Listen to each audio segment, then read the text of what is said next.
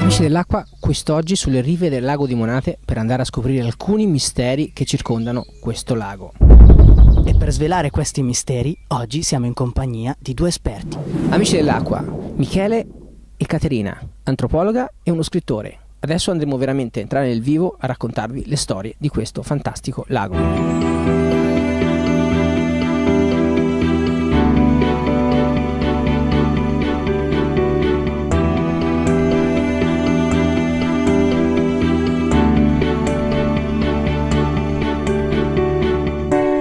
Allora amici ci stiamo avvicinando sul luogo dove andremo a scoprire il mistero del villaggio sommerso.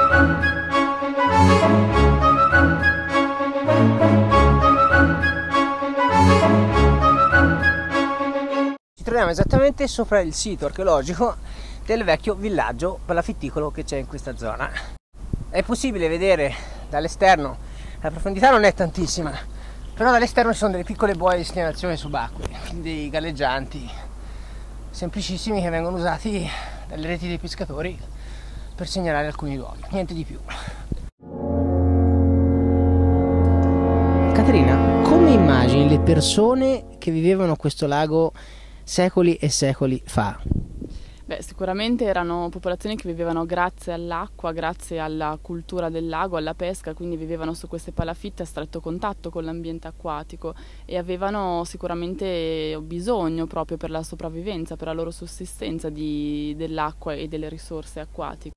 Allora, gli uomini li abbiamo immaginati molto primitivi che vivevano questi luoghi, ma se vogliamo pensare a qualcosa di un po' più mitologico, un po' più fantasioso, ti viene in mente qualche figura magari mitologica che potrebbe vivere le acque? Co- cosa ci racconta la storia di figure mitologiche che vivono le acque? Beh, in moltissime culture, anche tuttora viventi, tuttora esistenti, perché non dobbiamo parlare sempre solo di primitivismo, no? Cioè ci sono culture che oggigiorno vivono ancora grazie alle acque nei pressi di fiumi, di laghi, di mari e, ehm, sicuramente si immaginano dei, degli esseri che hanno una matrice acquatica, dei pesci oppure delle, mh, eh, delle iguane a volte, dei, dei, coccodrilli, degli anfibi, ma con eh, delle strutture, delle caratteristiche esagerate, non so, eh, pinne enormi. Beh, a proposito proprio del lago di Monate, eh, io ho trovato leggendo questo libro molto interessante di uno studioso varesino, eh, una leggenda proprio che parla del lago di Monate, non ha niente a che fare con la, le mm, palafitte, però ehm, è carina perché dice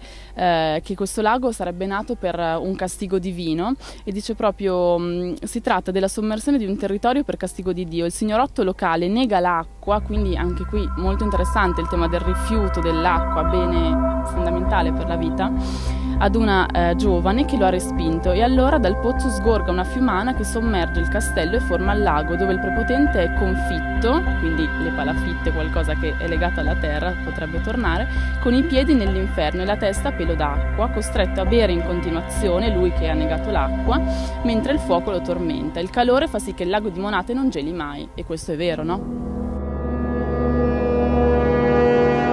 Bene Michele, tu eh, che sei l'autore del libro Misteri di Varese, riguardo al lago di Monate, che cosa ci puoi dire di più? Ma dunque, riguardo al lago di Monate esiste anche un'altra leggenda, eh, differente da quella che ha raccontato Caterina. Si tratterebbe eh, di, della presenza di un villaggio, di una città in tempi molto remoti, nei tempi indefiniti appunto delle leggende, delle favole, che sarebbe sorta proprio dove oggi c'è il lago di Monate e che sarebbe stata sommersa dalle acque del lago in seguito a una sorta di punizione divina, in questo caso diabolica. La leggenda inizia così, c'era questo villaggio che sorgeva esattamente dove ora c'è il lago, dove ehm, la gente, il, i cui abitanti erano eh, particolarmente buoni, e, insomma gente onesta, brava gente. Un giorno presso questo villaggio arrivò uno strano monarca a seguito della sua compagnia di cavalieri, di dame, tutti riccamente vestiti eh, sfarzosi, che chiesero ehm, al, al, signore locale del villaggio, eh, chiesero ospitalità, sapendo che loro erano persone molto buone, molto oneste, che non gliel'avrebbero rifiutata.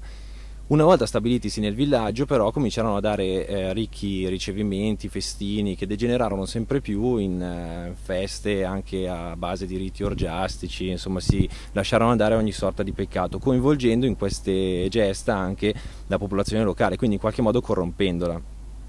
Eh, quando la corruzione della gente del luogo arrivò a un livello, a livello massimo, diciamo, il monarca straniero si rivelò essere il diavolo e per punire la, la popolazione per questi loro peccati fece, scatenò una sorta di diluvio che sommerse il villaggio uccidendo tutti. Questa è una leggenda eh, tipica della zona dell'arco prealpino e alpino che riguarda non solo il lago di Monate, ma anche molti altri laghi, tutti di origine glaciale. E questo poi ci può far pensare anche a un'origine intrigante. Michele, visto che ci troviamo su queste palafitte, eh, ma la domanda che ti voglio fare, cosa c'entrano queste palafitte con tutto quello che ci hai raccontato adesso? O comunque è un proseguimento di qualche leggenda che tu ci vuoi svelare eh, l'esistenza di queste palafitte? Sì, diciamo che la presenza delle palafitte ha suggerito una possibile interpretazione della leggenda del villaggio scomparso ovvero si può ipotizzare che le popolazioni antiche, non quelle dell'antichità, cioè gli edificatori delle palafitte, ma popolazioni diciamo intermedie tra noi e loro, eh, ritrovando i resti di questi villaggi, di queste case semidistrutte sott'acqua, potesse aver costruito la leggenda di un villaggio eh, diciamo, terrestre sommerso in seguito a qualche alluvione sotto le acque del lago. Chiaramente non avevano le nostre conoscenze archeologiche per poter ricostruire l'origine esatta di questi resti, però potrebbe essere questa una delle spiegazioni della nascita di questo mito. Amici di Guardiani dell'Acqua, torneremo sicuramente sulle rive di questo lago a svelare altre conoscenze, ma quello che ci interessa di più è che con Caterina e con Michele andremo a conoscere la provincia di Varese anche con altri misteri.